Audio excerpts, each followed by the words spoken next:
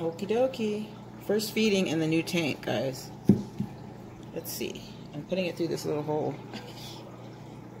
hey, guys. If I can get my hand in there. Ooh, there's a Ooh, oops. My bad. I don't know how that's gonna work. Oh! Shoot. Well, we got a blooper. All right, let's just take that off. Sorry, y'all.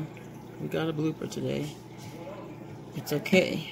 I just try to squeeze it through that little hole, but I guess I'll just leave it like this. See, I gotta put my whole hand in because I don't want them eating at the top, top of the water. If you put it at the very, it scared them too a little bit. So, hey, there you go, sweetie. Yeah, that's it. I'm not putting too much, just a little. So we'll just, this comes off. See, with a little I broke it. I didn't break it, but I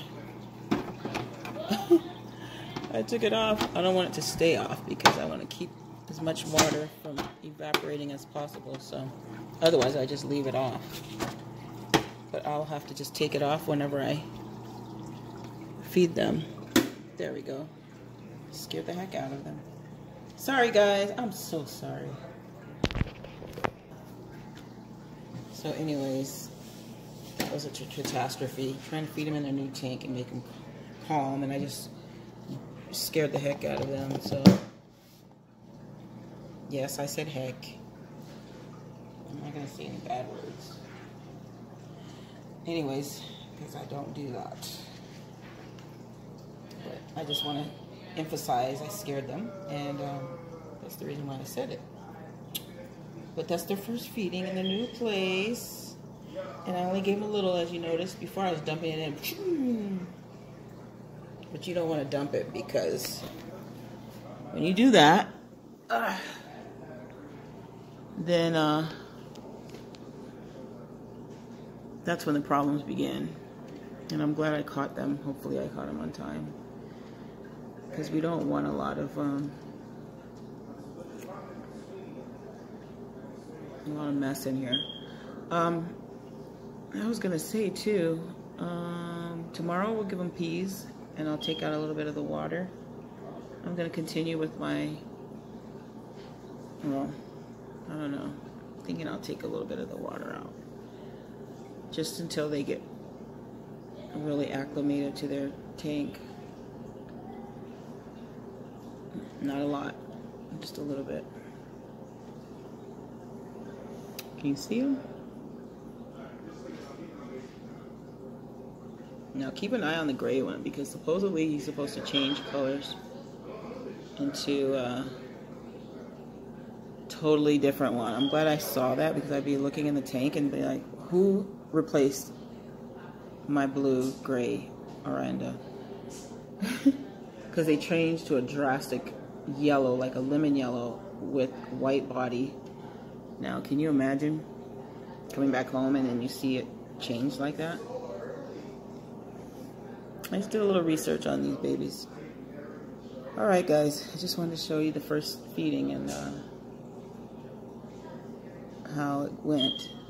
And they're see how they're just searching. But they're over on the good side because unless everybody's up all night, they should, um, let's see, let me get this side. There they go they should get pretty good um, sleep. You know, and yes, if you're just noticing and you didn't look at the other video, yes, I know that one has ammonia burn, and she got that when I put her in the tiny tank to wait for this one to get ready. I actually put them in here probably earlier than what I really wanted to, but the tank was so tiny, I just didn't want it, any more damage to come to her and I don't want any damage from her here either. So I'm just praying that everything goes well for her and all of them because I want them to have a nice area to swim. And we'll try and see if which ones are boys, which ones are girls, if they're all girls, if they're all boys. But I'm thinking that gray one is a boy. And the orange ones, I think, are girls. I think. I'm not positive. But, anyways, I'm going to get my little net and swoop out whatever I can find in here. And the poop. But I was going to tell you, too, it is going to rain, I think. At least it looks like it is. It feels good. It was so hot today. I'm like, give us some rain, please. I'm hoping because I had to water the grass a little bit yesterday because it was so dry.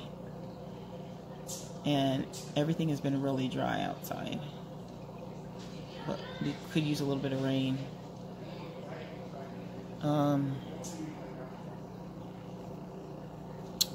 talk about April and the, the way it's supposed to give us showers.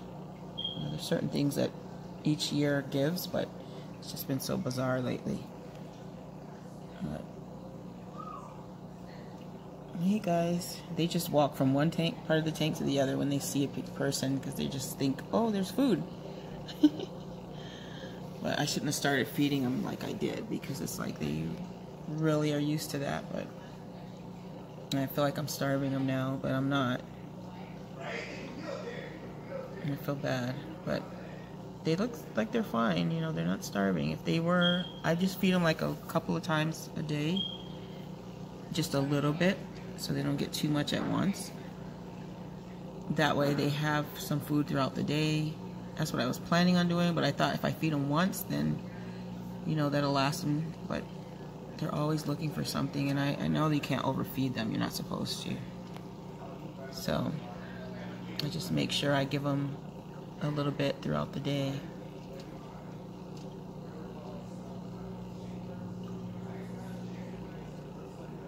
babies are so cute, but I don't want them hungry. And I don't want them overfed either. So, just keeping an eye on them and seeing what I'm watching their behavior and I'm trying to, to really study them and see this is how they are when they have plenty. Because my other ones, the Oranda over there, they just chill out, you know, not the Oranda, but the Comet. I've been giving them food like that, and they have left food in their in the tank. So I think I just making sure they have plenty and they can go get it later. So I'm going to try a different thing. They have this like this paste stuff that you can put in there, and they can kind of like nibble on it throughout the evening. And I'm going to try that too. I'm just thinking of different things because my my other ones, the Comets, the the other ones, they just kind of like have a different behavior whenever they're they've had enough to eat. They you can tell, but these you can't really tell too much because they are constantly moving. So I'm not really positive when they're full. Because even whenever I was dumping the food in there like that, they were doing what they're doing right now until time for bed. Then they go to lay down about midnight you know how fish sleep. That's what they do about midnight. But if you go in there and cut the light on, they will be busy, just like they are right now. So I gotta study them so I can see their pattern, and that way I'll have it down so that they can be comfortable, you know, have plenty of food and so forth you know, have plenty of food and um, be comfortable, not hungry. I just want them to enjoy their little environment. I want to be able to enjoy them and um, not have them uncomfortable, you know what I mean. I want to watch them because I want to see which ones are the boys and which ones are the girls. If I have some little fishies, that would be cool. If they have some fishies, that would be really, really cool. I think it would be cool. I don't know what I would do because you have to put them separate. you can actually separate this tank. There's a, it's so long, you can put a little divider there and put them in there on the on another side. Seriously.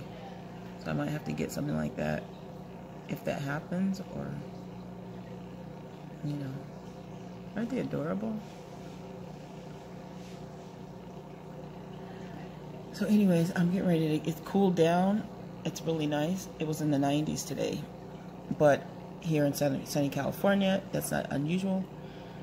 But um, I'm getting ready to start working on the teddy bear again. It's the cutest little thing, and I want to get it done.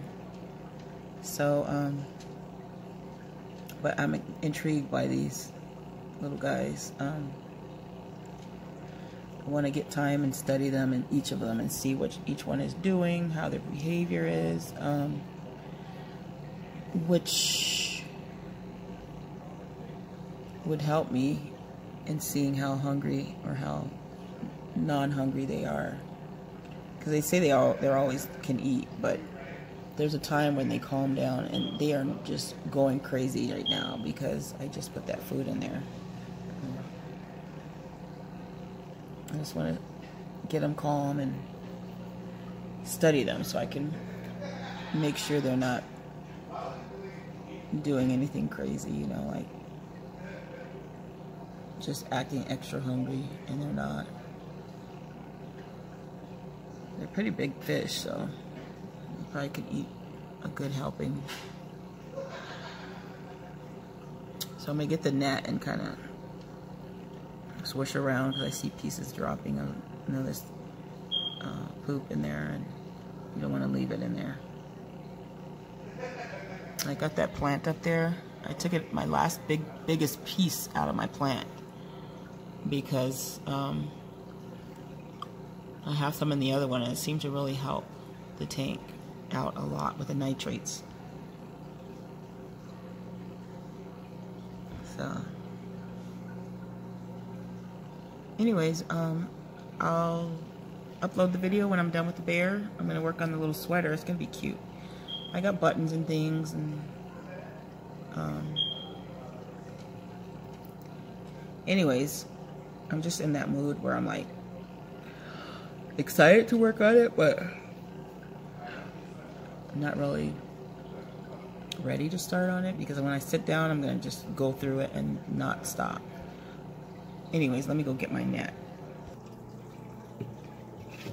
Okay, so I'm going to put this big net in here and swish around so I can get any kind of poo-poos.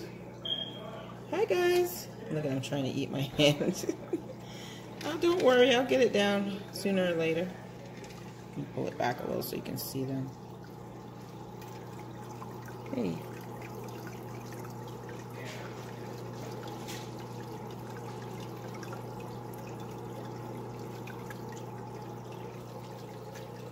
Just really get it good.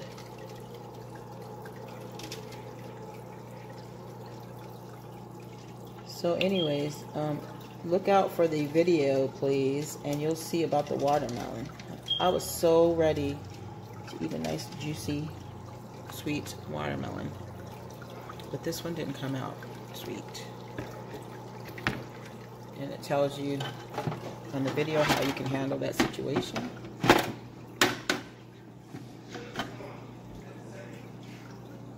Okay. Now, this is going to be tricky. Think I can move it with the plant in it. Just move it over like that. Because I don't want to have to every time take that plant out. So I just take this and push around on this side. Just get whatever I can out of here. Hi, babies. Hi. Hi. They're just nibbling on my hand. I'm the hunger. I'm the, uh, what do you call it? My hand is the food. They love my hand. Okay, I'm watching you guys. Make sure you're not hungry, okay? All right, everybody. Um,